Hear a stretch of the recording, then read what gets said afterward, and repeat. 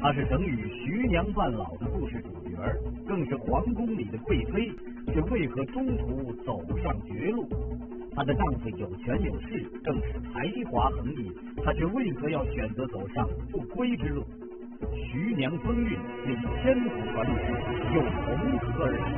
相信今天晚点更在为您举例。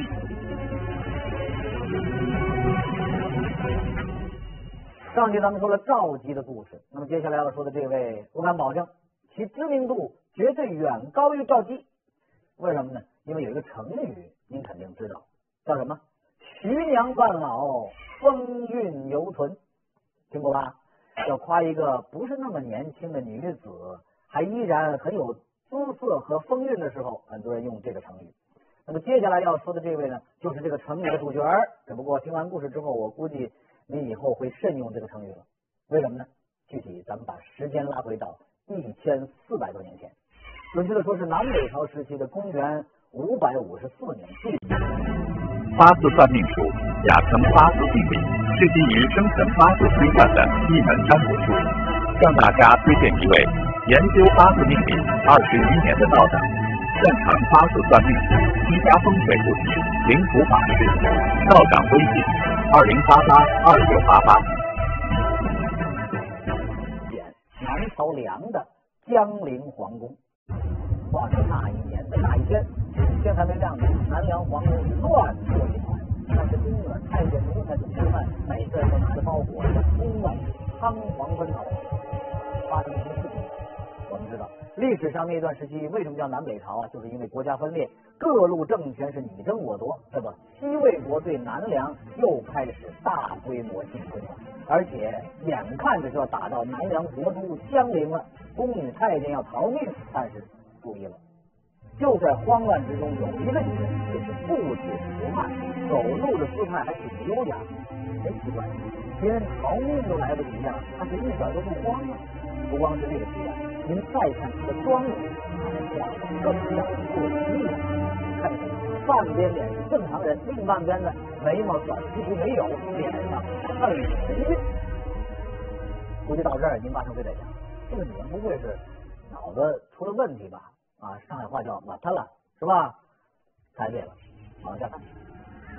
这个女人向四周扫视了一圈，然后走进一个房间，紧接着她把三尺白绫靠在了房梁之上，然后脖子伸进套中，上吊自尽。相信这个时候，你脑子一定会有很多疑问：这个女人究竟是谁啊？她为什么要自杀呀？而自杀之前为什么要画一个如此诡异的半面妆呢？这个女子就是接下来的主角。啊，我们要说到的成语“徐娘半老”里头那个徐娘，那她为什么要自杀呀？还要以这诡异的半面妆来结束自己的生命呢？因为她的丈夫梁元帝萧绎，萧绎这个名字很多人不熟悉，但是说到三曹四萧，喜爱文学的朋友可能就知道了。魏晋南北朝时期，文风鼎盛，崇尚读书啊。在同一家族里边，往往会出好几个文学成就很高的人。比如说三曹，说的就是曹操、曹丕、曹植父子三人。那四萧呢，则是梁武帝萧衍和他的三个儿子，萧绎就是其中之一呀。这里咱们再谈一个很有意思的题外话。通常我们把那些在学校求学的人叫做读书人，对吧？可您知道“读书人”这个词儿是怎么来的吗？这就跟萧绎有关了。您来看这个。这是史料当中保存的萧绎的画像，从画像上看，咱们看不出什么。萧绎是正常人，无论是眼、鼻、口、耳五官都很正常。但是事实上，画像是被美化过的。真实的萧绎啊，有残疾，一只眼睛是彻底看不见的，另外一只呢，视力也很弱，高度的弱势。但是此人有一点很值得我们学习和称道，那就是虽然说身有残疾，同时呢，贵为皇子啊，没有什么生活压力嘛。他就没有自暴自弃啊，就干脆啊，反正是衣来伸手，饭来张口嘛，是吧？就不用学习了。相反，他读书更加勤奋，勤奋到了什么程度呢？因为视力不好，不能长时间看书，于是他便找人来给他念书，轮番值班呢，昼夜不停。这些给他念书的人就叫做读书人。哎，读书人这个词是这么来的。